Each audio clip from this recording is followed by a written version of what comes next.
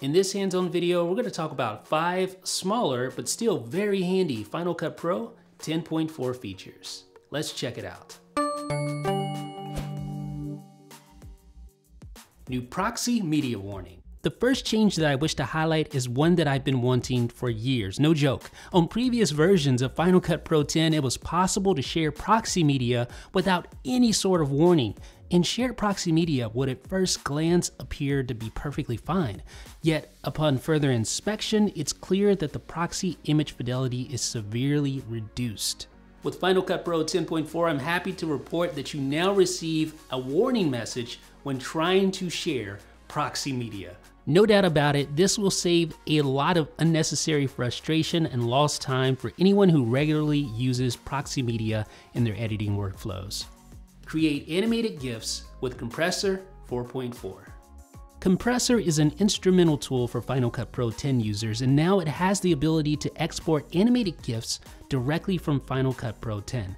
All you need to do is open Compressor and create a new image sequence setting. Configure the image sequence as GIF, and be sure to check the animated option. You can also edit other settings directly in Compressor, such as frame size. And then once you're finished, it's just a matter of importing that setting into Final Cut Pro to use as a share option. Thereafter, creating animated GIFs directly from your source timeline material is just a simple couple of clicks away. Updated YouTube authentication. Those of you who upload video directly to YouTube via Final Cut Pro's built-in workflow will find an updated authentication method inside 10.4. Because it now relies on verification via macOS's default browser, it's now super easy to authenticate, especially when you're already logged in to YouTube. Easily create new projects based on source media.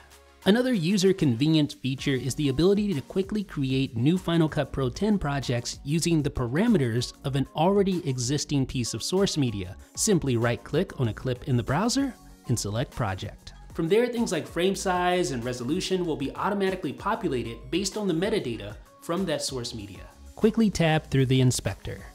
In Final Cut Pro 10.4, it's now possible to easily cycle through inspector tabs using Control Tab.